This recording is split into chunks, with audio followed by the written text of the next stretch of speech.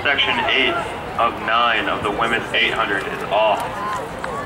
Grace Drusilla of Penn State, Rebecca Went of West Virginia, Natalie Nelson of Grand Valley State, Kiana Tucker of Shippensburg, Alyssa Shoup of Virginia Tech, Nicole Allard of Adelphi, Summer Hill of California, Pennsylvania, Candace Jones running unattached, Hannah Gilliam of Duquesne, Libby Nolan of Cornell, and Katie Shaheen of Grand Valley State.